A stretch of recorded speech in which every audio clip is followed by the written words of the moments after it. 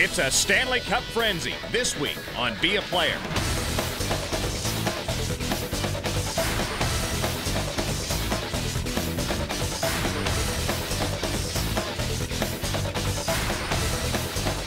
The NHL Players Association presents Be a Player, the hockey show. Brought to you by EA Sports NHL 2001. If it's in the game, it's in the game.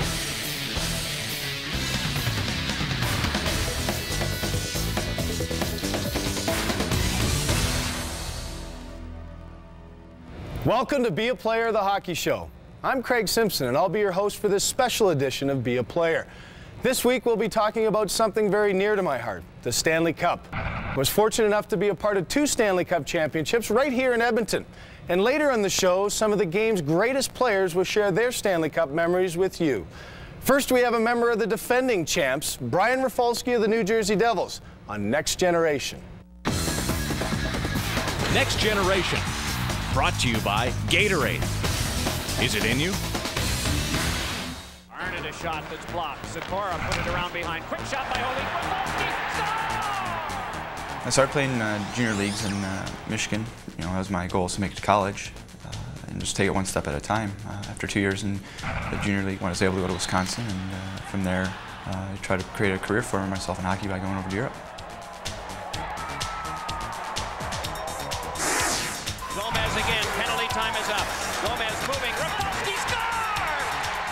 Well, the biggest adjustment is obviously ice size. 'cause the rinks are smaller here, and I've been playing in Europe for four years, so to get readjusted to the smaller rinks took a little while. But as uh, you know, training camp and the season has gone along, and even this year, I've you know, felt a lot more comfortable out there. For me, it was uh, being able to work on my skating even more, and my puck movement and stick handling, and uh, the offensive aspects, uh, which I needed to be able to bring to the NHL if I was going to make it. And I was able to work on that there and get a lot of power play time and improve my game that way, and that's really helped me uh, make the step to the NHL. He scores! Elias left it now for Rafalski. Devils have a man on the box. They score!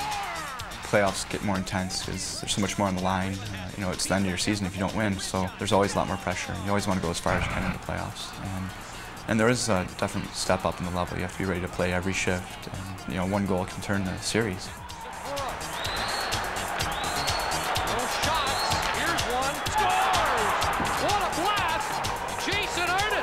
Philadelphia series, that comeback was, you know, that was pretty amazing. Uh, we were excited. We thought we were, could have won all the games, but we were giving the games away early in the series, and we were able to, you know, win them late in the series.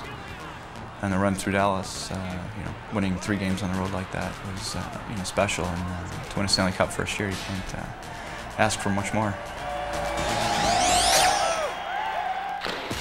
It's now time for the Be a Player trivia question. To play along, send your answer to the NHLPA's website at www.nhlpa.com slash be a player. All correct answers will be entered in a random draw with a chance to win an NHL 2001 video game courtesy of EA Sports or an autographed NHLPA jersey. For complete contest rules, check out nhlpa.com. Name the only active player to record three or more shorthanded goals in one playoff year.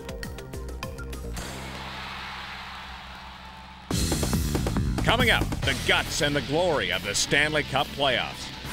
As our guys walked by their locker room, kind of took a look inside and saw what it really took to become a champion.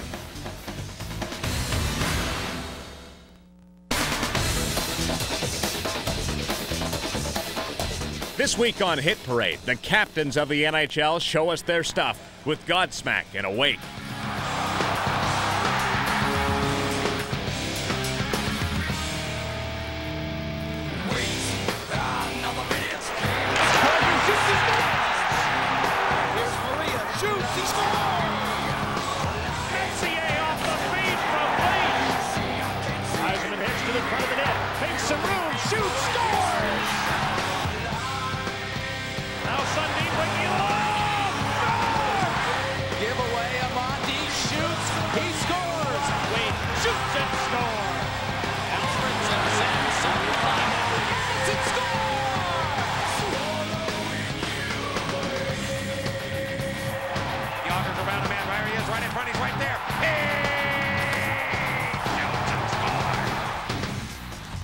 Player gives you a chance to ask your favorite NHL player a question. For your chance to participate, visit NHLPA.com. Tarek Ishmael from Ottawa, Ontario asked Marian Hossa, Have you ever wanted to be a goalie? Here's what Marian had to say. Well, actually, I never thought about it. You know, I was thinking about play defense like my father, but uh, I never want to be goalie. No, No, never. Never. Goalies are a little weird, or what's the deal? So maybe some of them, you know, we got in one uh, in our team. a little different, but it's lots of fun. No, I don't know. I never thought about it. Every player that wins the Stanley Cup gets a replica like this one to call their own. It's a great symbol of all the hard work and dedication it takes to become a champion. You see, the team that wins the Cup doesn't actually own it. Rather, by becoming Stanley Cup champion, you earn the right to become a part of its history. And oh, what a glorious history it has. There's no better feeling than being champion, and finishing second can be devastating. These are the players who have been there, players who have been close, and players who want the opportunity more than anything.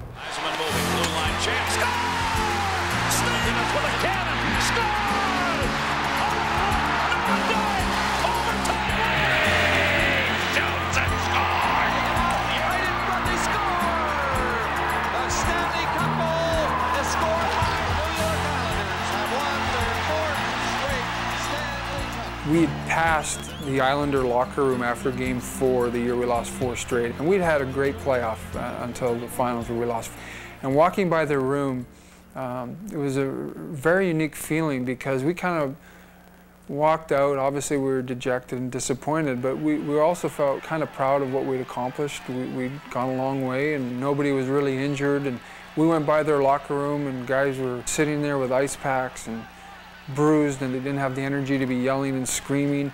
As our guys walked by their locker room, kind of took a look inside and saw what it really took to become a champion. That you needed to be banged up and you couldn't be walking out of a locker room and kind of saying, well, I could play tomorrow.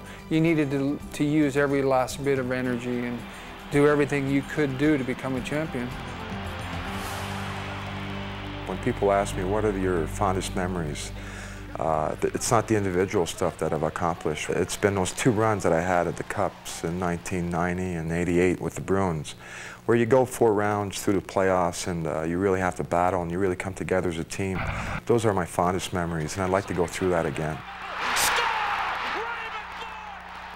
If one word had to come to mind, probably unselfishness from a, a group of players. I think that that word and that uh, symbol alone probably stands for the most important thing that I can really think of. Uh, you know, you can add on top of that talent and chemistry and all those things, but unless you have the unselfishness of all the players, or uh, actually the whole organization, uh, it, it becomes pretty tough to win. And, um, and I know that from experience from the six cups that I've won, that has been one ingredient that really stands out in my mind. It's tough, you know, because it's like you, you've climbed the top of Mount Everest and you've got two feet away and someone kicked you down and you wound up at the bottom again. Um, it, I mean, yeah, I mean, when you see the good times and, and you see, uh, it's always tough to kind of take a step back, and it was, it was difficult. The cup is certainly a point where you all want to get to, but winning the games and being consistent and uh, that whole journey is just as much fun as, as winning that last game, and that's where the reward comes from. So you just keep going, you try and remind yourself and everybody else that it's, you know, it's well worth it. It's not uh, grind all the time when you're winning and uh, your teammates and everybody are in the same path and, you know, you're doing what the coach says and you work hard and, and you try and get to that point. we made a dream come true. Um, you know, for a lot of players, including myself, that haven't been to the Stanley Cup Finals before, or um, you know, been that deep in the playoffs. So you have to look at it on, in one way that we uh, we we accomplished something, you know. But when you get to that point, you want to win the whole thing, and uh, you know, Colorado walked away with a cup, and we walked away with a lot of pride. Open shot, score! We got a great team and uh, the expectations are really high this year. The last two years we lost conference final against Dallas, both in game seven. And uh, we played game sevens in Dallas, so this year we would like to uh, play better regular season. And then uh, if we will play the game seven. We would like to play at home. It's pretty big advantage. And uh, win the Stanley Cup. It's our goal this year and my goal too.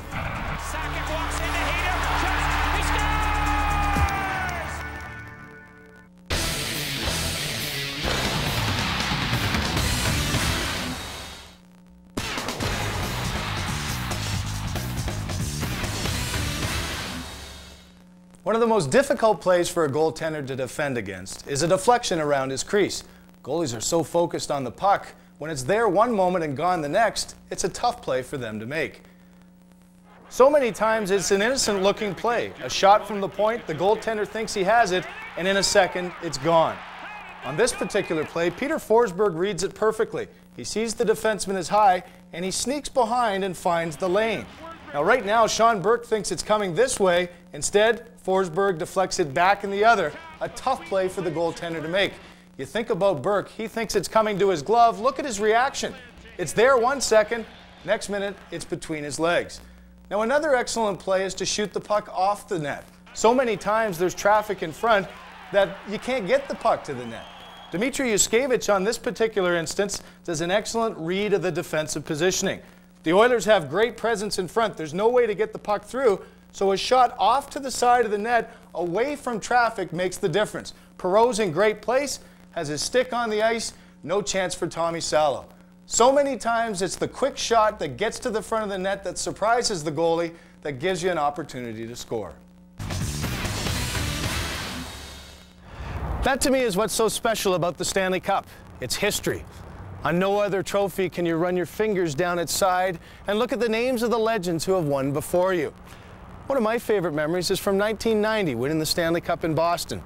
Came out of the visitors' locker room, Stanley Cup in hand, and ran into Mr. Hockey, Gordie Howe. It was amazing to me, just moments after sharing the Stanley Cup victory with my current teammates, getting a chance to relive some memories of one of the game's greatest players. It solidified to me just how special the Stanley Cup was. Every year, a new group of players try to experience those thrills and share in the glory of the Stanley Cup.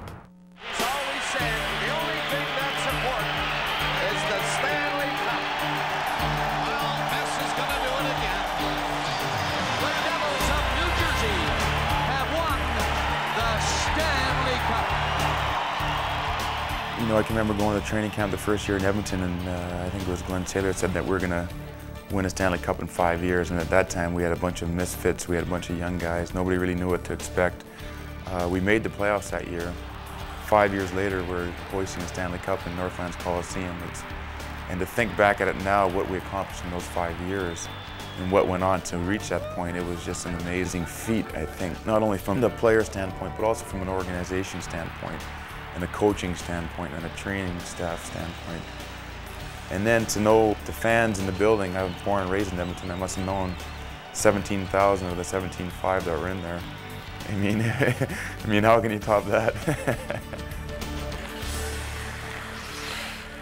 oh, that was incredible. Just, uh, you know, finally do it, and uh, especially after the year that I had, uh, only playing 26 games and having spent uh, you know three months of my life uh, in in bed resting with with my back infection, coming back and winning that cup that year, you know, was very emotional and and it was something that I'll never forget. It, just to lift that cup and to skate around that rink was you know, since you're young, you dream about uh, winning the Stanley Cup and, and uh, lifting it, and when it actually happens, it's uh, it's very exciting.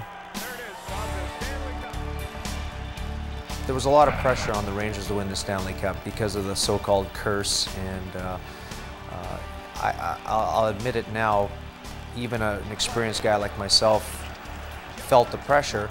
Only if, in my case, it was because I wanted to win so badly, and it was like, you know, going to seven games with Jersey, and then Vancouver forcing us to seven. It really took its toll on us. But it was all said and done, I really stepped back and said, wow, this is this has been incredible. I was able to appreciate it all. I had experienced it before. But when we made the corner going down Broadway in the parade, it blew me away. I just never expected it to be that overwhelming. And that'll be something that'll stay in my, in my mind and my memory for, for life. Uh, I don't really think I was thinking of anything except for lifting that cup. And uh, that was uh, just one of the greatest feelings I've ever had. Um, like I said, you, you, dream about that as a kid, and then when you finally get to do that, and uh, it's amazing. It's, it's something that uh, finally accomplished your dreams. The most exciting thing was just kind of the countdown the last minute. You know, that was the most exciting, watching that. And when we won, we just piled around the back of the net. And I remember looking up and didn't realize it at the time, but the ice was covered in uh, confetti. I looked up and it's just like streaming down from up top. And uh, they see they bring the cup out, and the first thing I notice is, wow, they've got it, they got it sparkling. How how shiny it was, you know. So um, to get it and just stand there at center ice was it's like, you know, you shake hands with the commissioner. I was like, give me that thing, you know, like, beat it, you know. it's like, um, you just want to like, you know, it was, I could have stood there forever, you know, could have stood there forever. It was, uh, it was a great moment. Winning the Stanley Cup is a great memory to have. When you're actually in the playoffs and you're playing every second day, it's, it's very tough to appreciate it because it's such a, a long battle. Um, there's lots of bumps and bruises and you know, tired nights and you're sore lying in bed after a game and stuff like that. But um, now that I can just enjoy it, think back and look at some pictures and just remember how fun it was and being part of a, a team that played so well together, we had fun together and uh, you know, being able to win the Stanley Cup is every kid's dream that plays hockey. So I'm very fortunate to have that chance.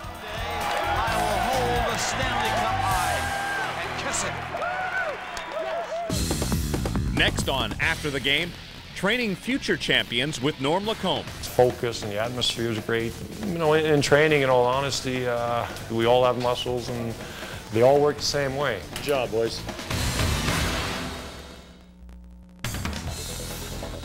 Be a Player the Hockey Show, sponsored by EA Sports NHL 2001. If it's in the game, it's in the game.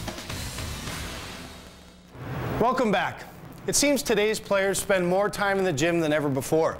Virtually every team in the league has state-of-the-art equipment in their locker rooms, and most players have their own personal trainers or fitness consultants in the offseason to help gain a physical edge. My former teammate Norm Lacombe works with young players to help them achieve their goals. Here's a former Stanley Cup champion on After the Game.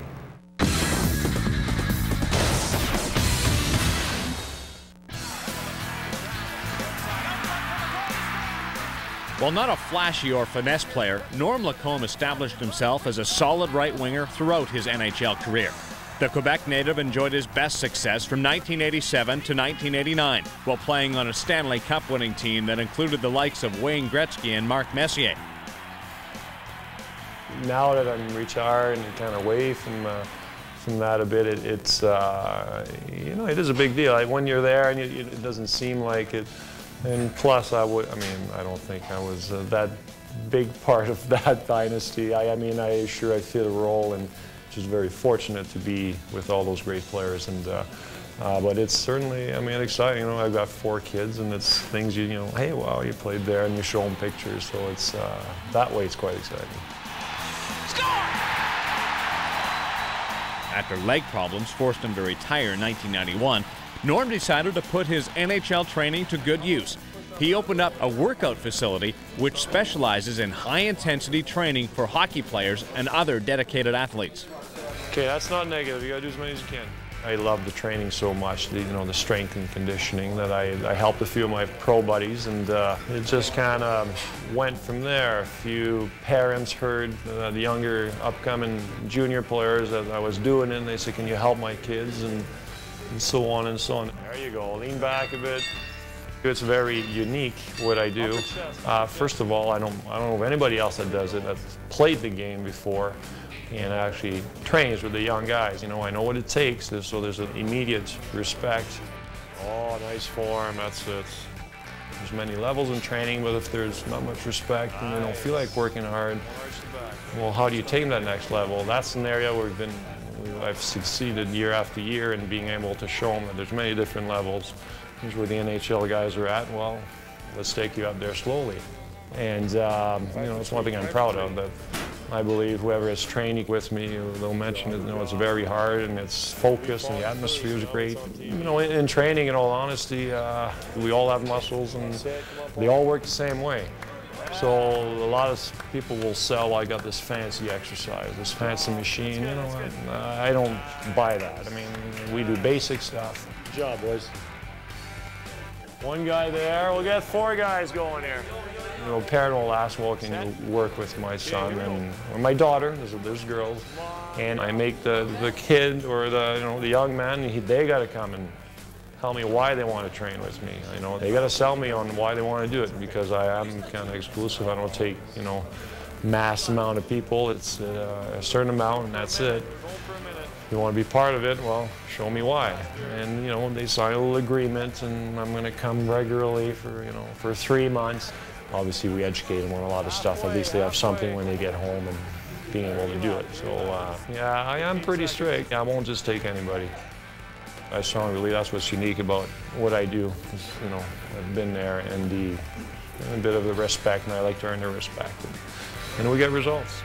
Very simple. Be a Player Trivia is brought to you by EA Sports NHL 2001. If it's in the game, it's in the game. Only one active player has scored three or more shorthanded goals in the playoffs. This is- so this would be a playoff run. Adam Graves. I just. Nope, not Adam. Let me in. No. Who scores a lot of sort short-handed goals? Forsberg? No, not Forsberg. Plays in Canada. Dougie Weight. It's very recent. I, I, I can see it. Can you see it? I can see it. Can you see Big Dallas? Someone's sniping on Dallas. Dixon Ward. He's actually an American guy playing in Canada. Any idea? Speedy little bugger.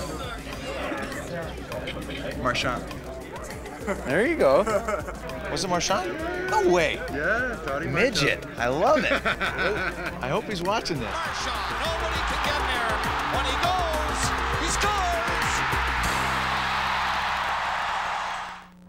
scores. This place and this show have brought back a lot of great memories. I thank you for watching. Next week, we'll wrap up our seventh grade season of Be a Player of the Hockey Show, and we're going out in style. Teams have been loading up for the playoffs, and we'll sit down with Colorado Avalanche defenseman Rob Blake and find out how the Avs are preparing for their cup run. Thanks for watching. NHLPA.com is your source for the latest stats, scores, and NHL player information. Click on Be a Player for the latest show information or send us your questions and comments. You'll find it all at NHLPA.com. Brett Lindros is clothing supplied by The Coop, clothing for men, Toronto. I can see it. Can you see it? I can see it. Can you see Big Dallas? Someone's sniping on Dallas. Dixon Ward. Oh. Dixon Ward. Dallas? Well, he's he's thinking of the final. He's the Think midget. I love it. I hope he's watching this. oh, for sure he is. Should have been me. me. Me and Billy always complain that we can kill penalties just as good as Toddy. I would have on had three, but I, would. I could never get on the penalty kill. We're not very good at this, but uh, Well, it's good. I hope Toddy's watching. That's good.